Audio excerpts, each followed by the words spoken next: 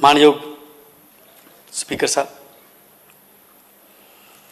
ਕੇਂਦਰ ਸਰਕਾਰ ਵੱਲੋਂ ਅਗਨੀਪਤ ਸਕੀਮ ਦੇ ਇੱਕ ਤਰਫਾ ਐਲਾਨ ਕਰਨ ਨਾਲ ਪੰਜਾਬ ਸਮੇਤ ਬਹੁਤ ਸਾਰੇ ਰਾਜਾਂ ਦੇ ਵਿੱਚ, ਵੱਡੇ ਪੱਧਰ ਤੇ ਨੌਜਵਾਨਾਂ ਦੇ ਵਿੱਚ ਰੋਸ ਤੇ ਵਿਰੋਧ ਫੈਲਿਆ।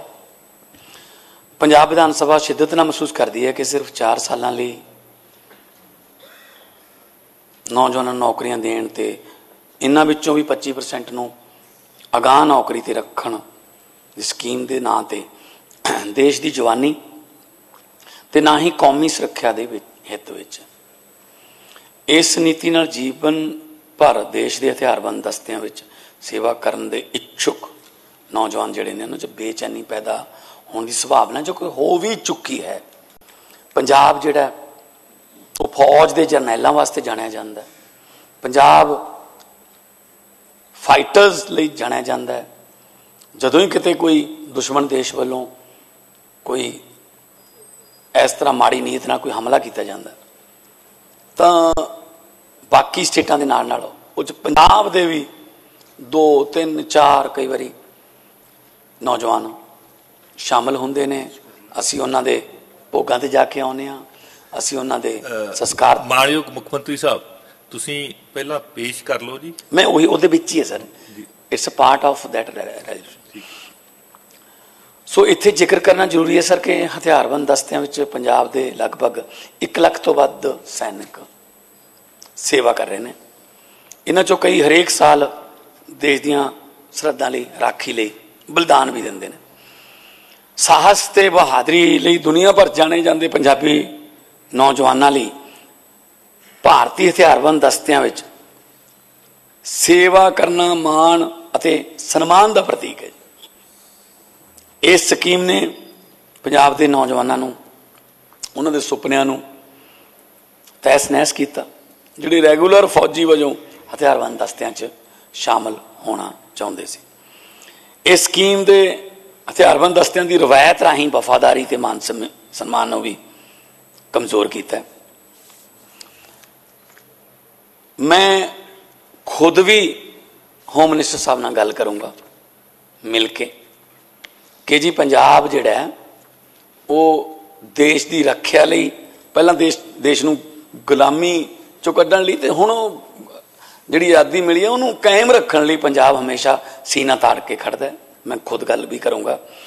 ਸੋ ਸਦਨ ਜਿਹੜੀ ਹੈ ਰਾਜ ਸਰਕਾਰ ਨੂੰ, ਇਹ ਕੇਂਦਰ ਸਰਕਾਰ ਨੂੰ ਅਗਨੀਪਤ ਸਕੀਮ ਨੂੰ ਵਾਪਸ ਲੈਣ ਦੀ ਸਿਫਾਰਿਸ਼ ਕਰਦਾ ਜੀ, ਪ੍ਰਸਤਾਵ ਪੇਸ਼ ਕੀਤਾ ਗਿਆ ਕਿ ਕੇਂਦਰ ਸਰਕਾਰ ਵੱਲੋਂ ਅਗਨੀਪਤ ਸਕੀਮ ਦੇ ਇੱਕ ਤਰਫਾ ਐਲਾਨ ਕਰਨ ਕਾਰਨ ਪੰਜਾਬ ਸਮੇਤ ਸਾਰੇ ਰਾਜਾਂ ਵਿੱਚ ਵੱਡੇ ਪੱਧਰ ਉੱਤੇ ਵਿਰੋਧ ਪੈਦਾ ਹੋਇਆ ਹੈ।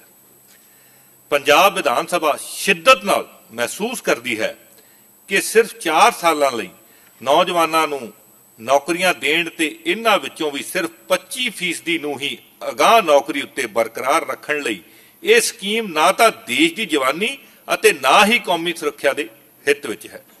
ਇਸ ਨੀਤੀ ਨਾਲ ਜੀਵਨ ਭਰ ਦੇਸ਼ ਦੇ ਹਥਿਆਰਬੰਦ ਦਸਤਿਆਂ ਵਿੱਚ ਸੇਵਾ ਕਰਨ ਦੇ ਇੱਛੁਕ ਨੌਜਵਾਨਾਂ ਵਿਚਾਲੇ ਬੇਚੈਨੀ ਪੈਦਾ ਹੋਣ ਦੀ ਸੰਭਾਵਨਾ ਹੈ।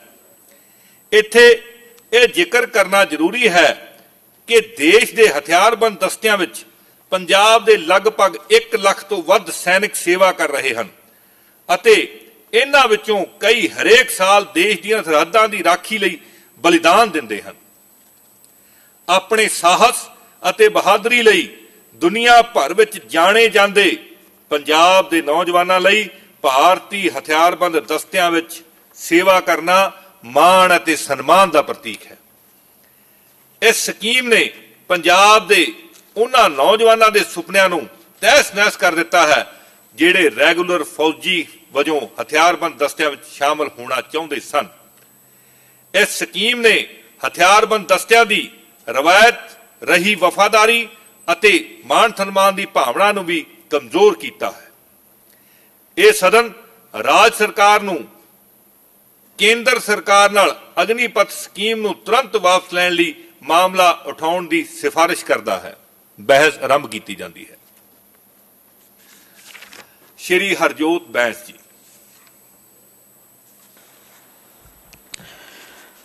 ਆਨਰੇਬਲ ਸਪੀਕਰ ਸਾਹਿਬ, ਮੈਂ ਦੋਵੇਂ ਹੱਥ ਜੋੜ ਕੇ ਆਪ ਦਾ ਧੰਨਵਾਦ ਕਰਦਾ ਇਸ ਬੜੇ ਗੰਭੀਰ ਵਿਸ਼ੇ ਤੇ ਤੁਸੀਂ ਮੈਨੂੰ ਮੌਕਾ ਦਿੱਤਾ, ਕਿਉਂਕਿ ਇਹ ਨੈਸ਼ਨਲ ਇੰਪੋਰਟੈਂਸ ਦਾ ਤੇ ਮੈਂ ਇਸ ਪ੍ਰਸਤਾਵ ਦੇ ਹੱਕ ਦੇ ਵਿੱਚ ਖੜਾ ਹੋਇਆ। ਪਰ ਮੈਂ ਇਸ ਤੋਂ ਪਹਿਲਾਂ ਆਪਣੀ ਗੱਲ ਸ਼ੁਰੂ ਕਰਾਂ ਜੀ, ਇੱਕ ਹੋਰ ਬਹੁਤ ਹੀ ਮੰਦਭਾਗੇ ਇਨਸੀਡੈਂਟ ਤੇ as a member of this house ਤੇ ਇੱਕ ਪੰਜਾਬੀ ਹੋਣ ਦੇ ਨਾਤੇ ਮੈਂ ਉਸ ਨੂੰ ਕੰਡੈਮ ਕਰਦਾ ਹਾਂ, ਜਿਹੜੀ ਉਦੈਪੁਰ 'ਚ ਜਿਹੜੀ ਉਹ ਘਟਨਾ ਹੋਈ ਹੈ।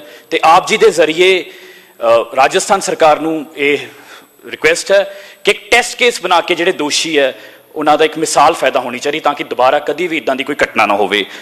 Honourable sir honourable sir Agnipath scheme sir Agnipath scheme, sir, ਇੱਕ ਇੰਗਲਿਸ਼ ਦਾ ਅਲਫਾਜ਼ ਹੈ ਡਿਸੀਟ ਜਿਸ ਦਾ ਮਤਲਬ ਹੁੰਦਾ, ਸਰ, ਤੁਸੀਂ ਇੱਕ ਸਫੇਦ ਝੂਠ ਨੂੰ ਸੱਚ ਬਣਾ ਕੇ ਲੋਕਾਂ ਸਾਹਮਣੇ ਰੱਖ ਦਿਓ ਰੌਲਾ ਪਾਇਆ ਜਾ ਰਿਹਾ ਪੂਰੇ ਦੇਸ਼ ਦੇ ਵਿੱਚ ਕਿ Agnipath is an employment generation ਕਿ ਨੌਕਰੀ, ਨੌਕਰੀਆਂ ਮਿਲਣਗੀਆਂ।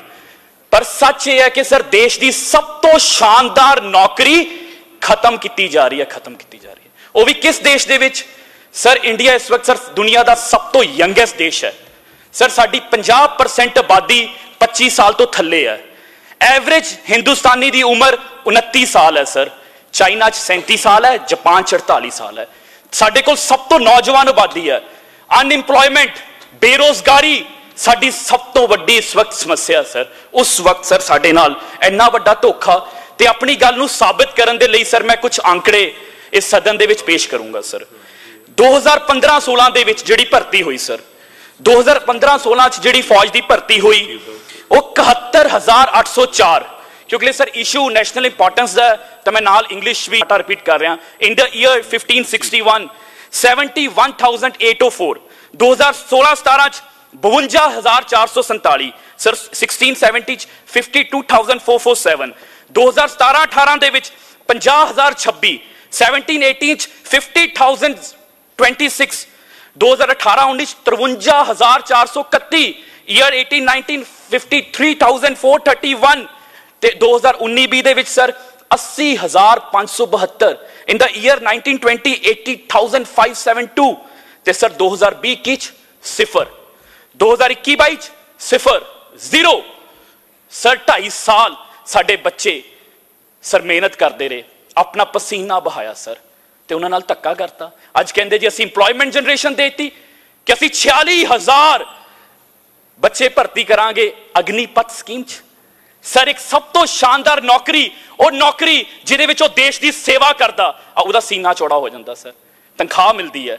ਰਿਟਾਇਰਮੈਂਟ ਤੋਂ ਬਾਅਦ ਪੈਨਸ਼ਨ ਮਿਲਦੀ ਹੈ ਸਰ ਉਸ ਤੋਂ ਬਾਅਦ ਜਦੋਂ ਆਪਣੇ ਪਿੰਡ, ਆਪਣੇ ਨਗਰ ਜਾਂਦਾ, ਉਹਨੂੰ ਇੱਜ਼ਤ ਮਿਲਦੀ ਹੈ, ਉਹਨੂੰ ਸਨਮਾਨ ਮਿਲਦਾ ਸਰ ਅਗਰ ਕਰੀਨ ਤੋਂ ਚਾਹ ਪੱਤੀ ਲੈਣੀ ਉਹਨ ਸਰਫ ਲੈਣਾ ਉਹ ਰਮ ਲੈਣੀ ਉਹ ਸਸਤੀ ਮਿਲਦੀ ਹੈ ਮੋਟਰਸਾਈਕਲ ਲੈਣਾ ਗੱਡੀ ਲੈਣੀ ਸਸਤੀ ਮਿਲਦੀ ਹੈ ਉਹਨੂੰ ਕੁਝ ਹੋ ਜੇ ਉਹਦੇ ਪਰਿਵਾਰ ਨੂੰ ਕੁਝ ਹੋ ਜੇ ਇਲਾਜ ਮੁਫਤ ਮਿਲਦਾ ਸਭ ਤੋਂ ਸ਼ਾਨਦਾਰ ਨੌਕਰੀ ਖਤਮ ਕਰਕੇ ਕਹਿੰਦੇ ਜੀ 46000 ਬੰਦੇ ਭਰਤੀ ਕਰਾਂ ਕਰੀਏ 2 ਲੱਖ ਸਾਮੀਆਂ ਇਸ ਵਕਤ ਸਰ ਸਾਡੀ ਆਰਮਡ ਫੋਰਸਿਸ ਖਾਲੀ ਹੈ ਉਹ ਸਾਰੀ ਖਤਮ ਕਰ ਦਿੱਤੀ ਸਰ ਉਹ ਸਾਰੀ ਖਤਮ ਕਰਕੇ 46000 ਬੰਦੇ ਨੂੰ ਅਸੀਂ ਭਰਤੀ ਕਰਾਂਗੇ ਤੇ ਜਿਹੜੇ ਉਹ ਕਰਕੇ ਆਣਗੇ ਸਰ ਉਹਨਾਂ ਨੂੰ ਨਾਮ ਪਤਾ ਕੀ ਦਿੱਤਾ ਅਗਨੀਵੀਰ ਸਰ ਮੈਂ